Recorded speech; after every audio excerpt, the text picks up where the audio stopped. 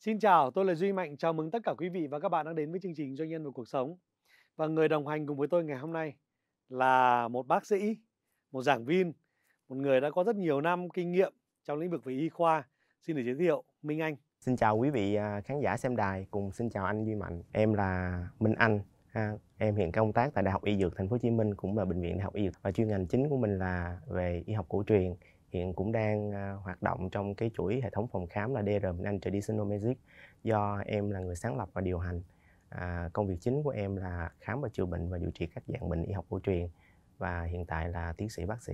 Có vẻ như em dành cả thanh xuân để học ha. Dạ đúng anh. Thì à, à đến thời điểm hiện tại là cũng à, gần 10 gần 20 năm về chuyên ngành này. Có gần 20 năm để theo đuổi lĩnh vực y khoa. Tuổi thơ của Minh Anh có gì đặc biệt không? cũng giống như tất cả các bạn trang lứa khác thôi thì ước mơ và nguyện vọng của em cũng từ à, chuyên ngành y học từ nhỏ muốn phát triển thành bác sĩ nên cái công việc học là chính trong quá trình đó thì em cũng à, có những tuổi thơ giống như các bạn nghỉ hè thì cũng được nghỉ chơi đi chơi rồi cũng à, những trò rất là đơn giản ở vùng quê à, cũng là bắt cá rồi bắn bi nhưng mà cái à, niềm khao khát đam mê của mình là vẫn thể hiện từ lúc nhỏ. Là mình đã có ý định theo ngành y từ khi bé. Dạ đúng. Ừ.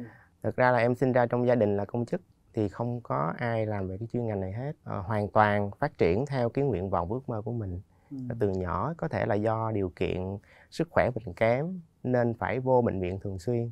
Thì vô đó thì em thấy à, rất là ngưỡng mộ và rất là yêu thích cái màu áo đó. Oh. màu áo trắng nên à, đi đâu ai cũng hỏi là sau này mình sẽ làm cái gì. Học để làm bác sĩ thật ra đấy không phải ai cũng đủ kiên nhẫn để mà theo đuổi một con đường. Nhưng mà nếu chúng ta không kiên nhẫn chúng ta không cố gắng thì cũng khó để con đường của mình tươi sáng được. Và anh được biết là em à, đã từng đi du học đúng không? Dạ. Lý do gì từ cái việc đi du học như vậy rồi em lại quay trở về Việt Nam để làm việc? Cái thời điểm đó là cái chuyên ngành về bác sĩ học cổ truyền hầu như nó mới hoàn toàn. Ừ. và ngay cả cái trường đại học y dược của em à, cũng chỉ là một hai khóa ban đầu và cũng không biết rằng là bác sĩ học cổ truyền ra họ sẽ phải làm gì và phát triển như thế nào. Ừ. à, lúc đó cũng được gia đình à, cũng cho tự do phát triển cũng có những người cũng góp ý là à, thử xem cái chuyên ngành này như thế nào. Và em cũng có tìm hiểu là thực sự cái chuyên ngành này nó cũng rất là hay.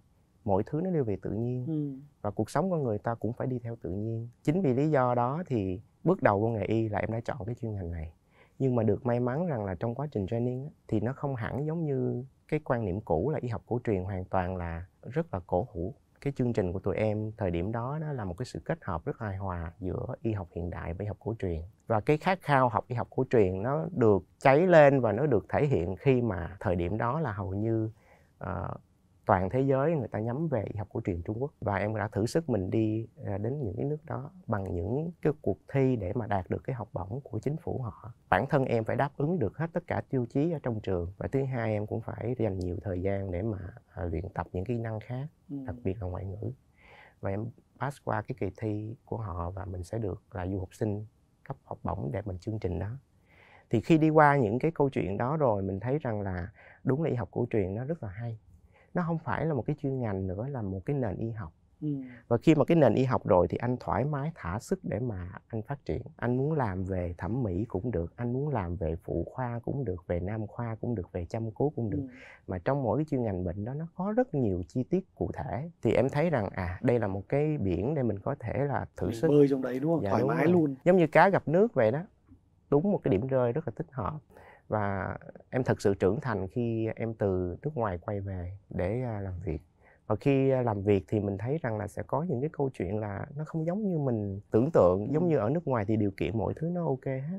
Từ cái chuyện uh, chuyên ngành và câu câu chuyện về bên ngoài em cũng có hai ba lần về Việt Nam. Rồi sau đó em lại tiếp tục đi nữa. Ờ. tiếp tục đi nữa không phải là mình chán mà tiếp tục đi nữa là mình tự uh, hoàn thiện bản thân mình hơn. Cá nhân em thì em thấy rằng là công sức của mình và cái đam mê của mình phải thể hiện được ở sự nghiệp của mình. Thì à, em thành lập cái à, hệ thống phòng khám nói hệ thống thì nó vẫn chưa phát triển thành hệ thống nhưng mà hy vọng nó sẽ là thành hệ thống hoàn toàn sử dụng y học cổ truyền. Và theo cái hơi hướng hiện đại hóa từ những cái câu chuyện là sức khỏe nguồn gốc thuốc men các kỹ thuật ứng dụng rồi à, điều trị phục vụ cho tất cả các dạng bệnh mà theo lý luận chung bằng y học cổ truyền. Cơ duyên nào lại đưa em vào cái việc công tác giảng dạy này? Thật ra là em không nghĩ mình là người thầy. em chỉ nghĩ rằng là em là một người bạn có thể đồng hành với tất cả thế hệ sau này muốn các bạn rút ngắn cái khoảng cách đó lại rút ngắn cái thời gian các bạn đầu tư lại em chỉ truyền cho bạn được những cảm hứng và những cái kinh nghiệm để các bạn có thể thành công trong cái lĩnh vực của mình ít nhất là các bạn sẽ phải yêu cái nghề này thì à, rất may rằng là đến thời điểm hiện tại cái niềm đam mê giảng dạy niềm đam mê truyền đạt nó vẫn còn rất là nồng nhiệt ừ. em nghĩ là cái này là một cái à, cái duyên khi em về Việt Nam ấy thì à, có bị sốc trong cái thời gian đầu tiên khi mình mình làm việc tại Việt Nam không? Có nhiều chứ anh. Thật ra phải nói là em khoảng 10 năm lưu lạc giang hồ trong 10 năm lưu lạc giang hồ hầu như là cái thời điểm mà về Việt Nam chỉ có những cái dịp mà lễ Tết ừ. chỉ có đếm từng ngày thôi. Còn hầu như là đều là bay nước này nước khác là sống ở các nước này nước khác. Và em thấy rằng là nếu như mình tiếp tục ở nước ngoài làm việc thì mọi thứ nó chỉ là đã có sự nền tảng rồi mình chỉ phát triển lên thôi. Nhưng con người em là có một cái câu chuyện là em muốn xây dựng một cái gạch móng theo cái hướng của mình. Tuy nhiên khi về Việt Nam thì mọi thứ nó cũng không giống như lý tưởng như mình mong muốn Đúng được. rồi. và nó phụ thuộc rất rất nhiều yếu tố khác. À, sốc thì có không thẳng là sốc. Nhưng vấn đề là à, tại sao cái suy nghĩ của mình nó không giống như thực tế? Và từ từ nó cũng sẽ phải à, thích ứng. Những điều kiện ở nước ngoài nó trở thành phù hợp với Việt Nam. Ừ. và bằng chứng rằng là công việc và cái hệ thống của em đang hoạt động nó rất là trơn tru và mọi thứ nó đều đúng chuẩn của các nước. Đó là niềm mà em cảm giác là rất là à, tâm đắc và rất hạnh phúc. Thì trong cái thời gian quay về Việt Nam ấy có bao giờ em có ý định là thôi mình lại đi tiếp hay không? Em dừng chân ở Việt Nam chứ cũng ba lần rồi ba à. lần cũng phải đi nữa. Tại lúc đó có thể là em nghĩ rằng à thôi bây giờ mình dừng lại để mình có thể là trước khi mà trị quốc thì mình uh, mình phải tề gia. Ừ, ừ, ừ nhưng mà sau đó thì mình thấy rằng là mọi thứ nó nó không như mình mong muốn cũng không muốn là phát triển nữa đâu cũng muốn lên đi học tiếp lên nữa đâu. Ờ, về cơ bản là mình có thể hoạt động được rồi và có thể ừ. cơm áo gạo tiền có thể giải quyết được rồi. Tuy nhiên về à, thời gian và những đam mê của mình nó vẫn còn 2015 em đi nữa. Ban đầu thì em chỉ nghĩ em chỉ là một cái bác sĩ có thể chữa bệnh bằng y học cổ truyền thôi nhưng về sau đến giai đoạn mà 2015 2019 em trở thành một nhà khoa học. Ừ. và em muốn rằng là em là người sáng chế và bào chế ra và thực sự là em có rất là nhiều cái công thức và sản phẩm mà em đang dùng là những cái bài thuốc hoặc là những cái sản phẩm làm đẹp cho cơ thể bên trong và bôi bên ngoài. Tốt quá. Và hiện tại là em cũng đang đảm nhận một cái vị trí cũng khá mới là ở đại học y dược của mình cơ sở ba là chuyên về cái mảng mà thẩm mỹ về da và chuyên về cái học cổ truyền. Vậy. thường điều trị học cổ truyền về da nó không đơn thuần là chỉ bôi bên ngoài. Đúng rồi tất nhiên là xác. phải điều chỉnh ở bên trong. Và bản thân em là là người sản xuất là người bào chế là người nghiên cứu. Nhưng mà còn cái vấn đề kinh doanh thì em còn yếu thật sự nhá anh đã ngồi trên sóng truyền hình này rất nhiều rồi và anh khẳng định với em được là cái GDP của thẩm mỹ của Việt Nam ấy và ngành làm đẹp của Việt Nam ấy đang rất cao nha. Dạ. Người Việt Nam dành rất nhiều chi phí cho các hoạt động làm đẹp nhé. Thế nên là một cái người đang theo cái lĩnh vực này ấy thì uh, em có cái lời khuyên nào dành cho các cái bạn mà đang kinh doanh trong lĩnh vực làm đẹp mà em là người đang nghiên cứu? Cái à, quan điểm cá nhân của riêng em á, thì lý do tại sao những kỹ thuật luôn luôn được ừ. cải cải tiến. Tại vì nó không phải là hoàn hảo nên nó phải cải tiến. Cả những cái kỹ thuật mới bây giờ chỉ cần nó một hai năm sau nó sẽ là lỗi thời. Tuy nhiên cái giá trị cốt lõi của cái vấn đề đẹp nó vẫn là ở cái mức độ tự nhiên Vậy thì cái giá trị của y học cổ truyền trong cái góp phần làm thẩm mỹ và đẹp nó không hẳn là một cái làn da trắng hoặc là không mờ nếp nhăn, nó thể hiện ở cái sự thần thái. Ừ. Anh nhìn một con người, anh thấy là có thể người ta không cao, không thấp, tuy nhiên nó có một cái gì toát lên một vẻ rất là sang trọng hút rất là sang trọng đúng dạ, không? Dạ đúng rồi. Cái đó là cái trường phái hoàn toàn theo cung đình. Thì anh thấy là các vua chúa cung đình họ có cái thần thái rất là tốt thì họ đâu có sửa chữa gì đâu hoàn toàn họ sử dụng hoàn toàn bằng thiên nhiên ừ. và họ bôi họ đắp hoặc sử dụng bên trong bên ngoài cái triết lý đó và cũng như cái lý thuyết đó đó em cũng đã được cảm nhận rất là nhiều từ các sư phụ tức là ừ. các vị giáo sư lớn đầu ngành họ nói là tất cả những cái chuyện sức khỏe bên trong hay cái chuyện làm đẹp gì đó phải quay về tự nhiên Ừ. thì nó mới bền cũ và lâu dài vậy thì đối với cái câu chuyện mà à, kinh doanh hoặc là những cái mảng làm đẹp này thì em không dám cho lời khuyên nhưng mà cá nhân em đang đi theo cái hướng là đẹp một cách tự nhiên và hoàn hảo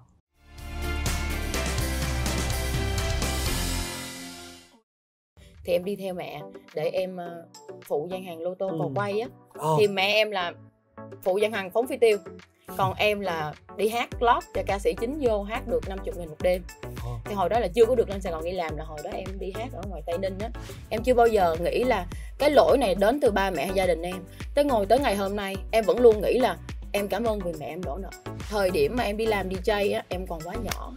Thì cái may mắn của em là em có gia đình bên cạnh. Hồi đó em đi làm mắc cười lắm. Em đi làm là cứ ba chở xe máy lót cót ba đứng ngoài trước đợi trở về. Thì thành ra em vẫn có một người bên cạnh kìm cặp mình ở cái thời điểm mà em nổi loạn. Và dặn trong cái chuyện mà mình sẽ làm gì cho cái cuộc đời này thôi, mình sẽ đem tới lợi ích gì. Em luôn luôn hỏi trong đầu em là, hôm nay mình làm gì? Hôm nay ngày mai mình sẽ làm được gì thêm?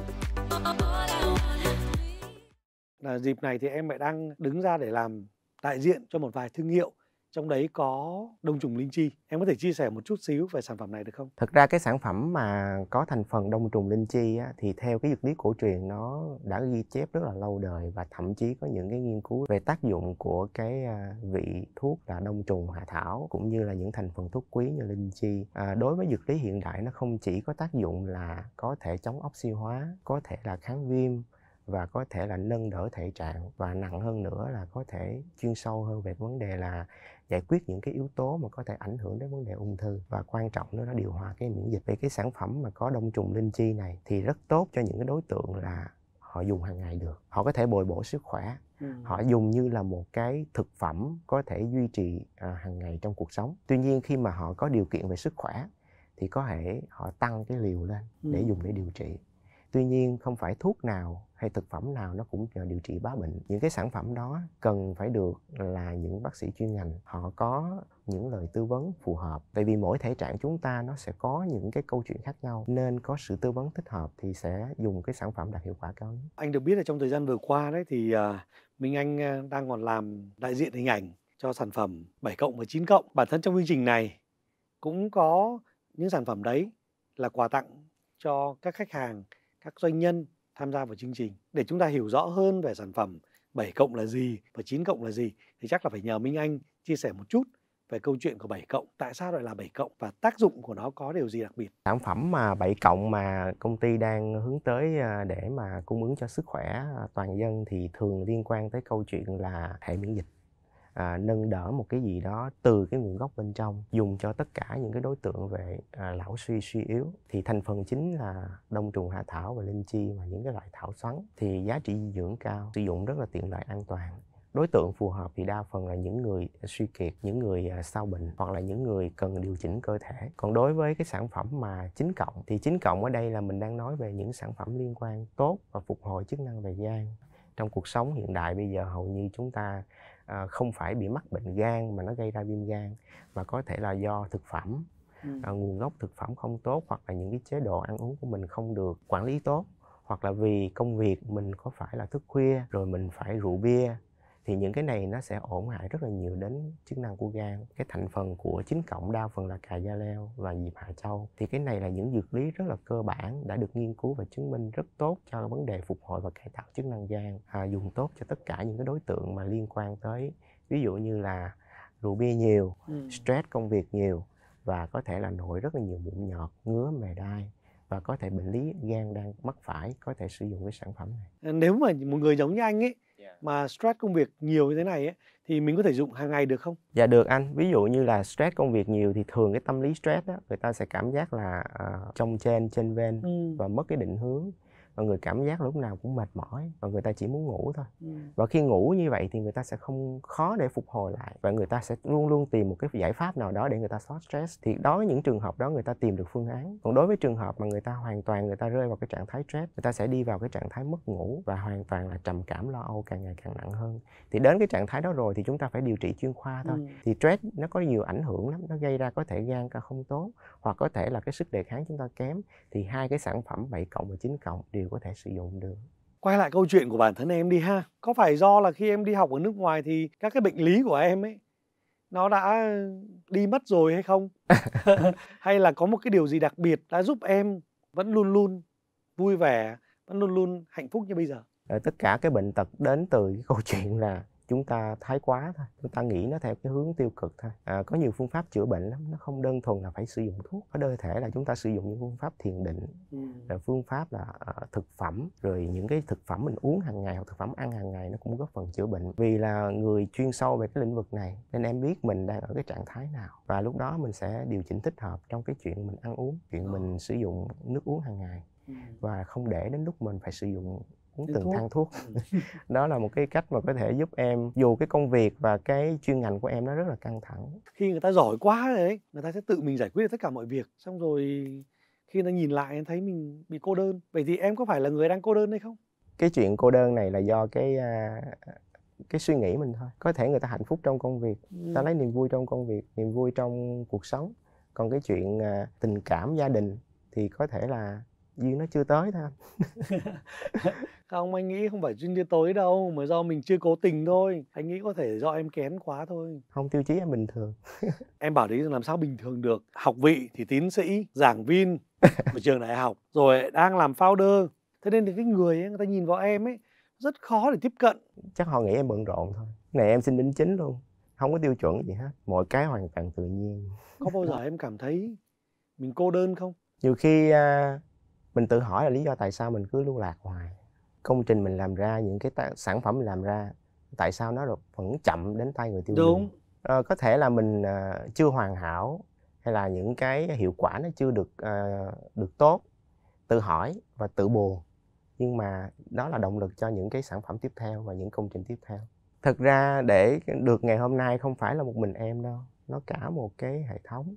Và thậm chí là em rất là tri ân những người thầy những người bạn đồng nghiệp ở đến từ các nước mặc dù em về Việt Nam lập nghiệp mà đến thời điểm hiện tại những công thức mới hoặc là những cái mẫu test hoặc những cái nhu cầu gì Ừ. họ đều có thể ờ, không vì một lý do nào đó họ có thể là giúp em hoàn trợ. toàn hỗ trợ em từ xa thì à, em chỉ là đại diện để mang đến cái câu chuyện đó truyền tải tới mọi người thôi em là một người rất đa di năng ở trong các cái hoạt động mà em đang nghiên cứu làm cách nào em có thể trao dồi được hết những ý những cái bài học như vậy. Như đầu em cũng chia sẻ thật ra y học cổ truyền nó không phải là một cái chuyên ngành nó một nền y học. Nó có một cái xuất phát điểm và một cái lý luận chung. Tuy nhiên nó sẽ phân cơ thể chúng ta nó không giống như tây y rằng là những cái những cái tạng những cái những tổ chức cơ quan và những cái phân môn khác nhau.